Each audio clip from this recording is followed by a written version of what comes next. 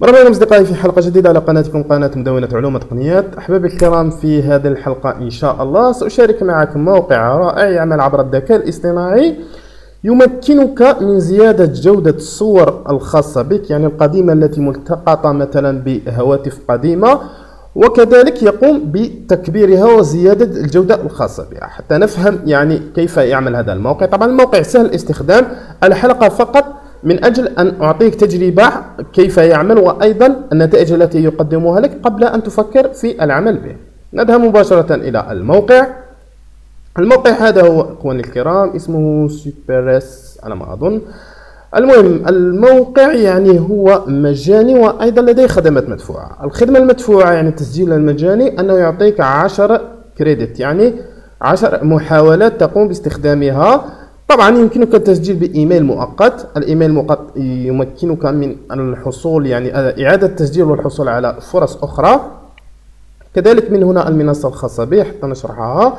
انظروا يعني هنا التكبير يعني كيف يقوم بتكبير الصورة. يعني يزيد في الزوم الخاص بها في الخطة المجانية يصل إلى آه، أربع مرات وهي كافية سنرى نتائجها أما الخطة المدفوعة تصل حتى 16 كما ترون. هنا يمكنك زيادة في توضيح الصورة هنا حتى تقوم بإزالة الضوضاء أو الضباب أو شيء من هذا القبيل يعني في الصورة يمكن أن تتحكم في هذه النسب المئوية. هنا أيضا اوبتيميزن يمكن أن تضعها سمارت يعني ذكاء يعني عالي. وهنا الألترا هي الكبيرة.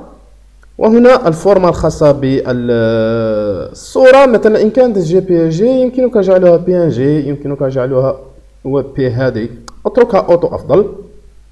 سنقوم الآن بتجربة على الصورة على هذه الصورة. اولا نرى ال يعني ال الحجم الخاص بها. انظروا.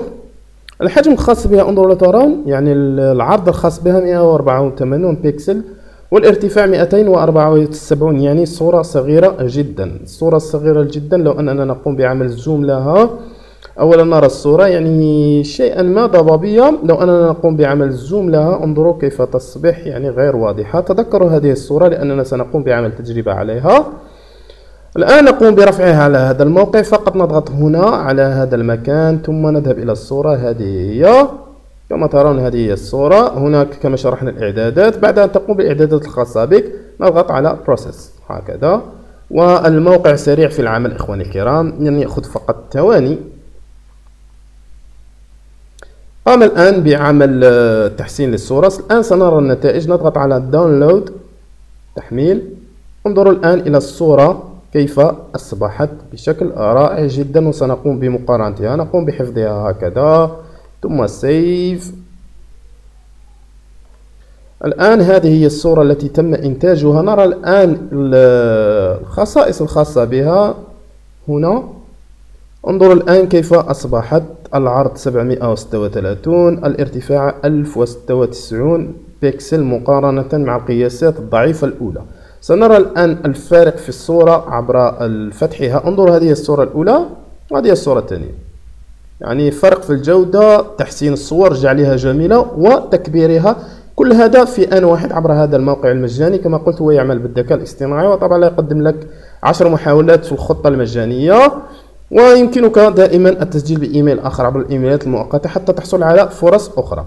كان هذا هو شرحنا حول هذا الموقع. أرجو أن ينال هذا الموقع إفادتكم وهذا الشرح أيضا إفادتكم. إن كان هناك شيء آخر يمكنك كتابة تعليق ولا تنسوا مشاركة هذا الفيديو حتى يستفيد منه الآخرين.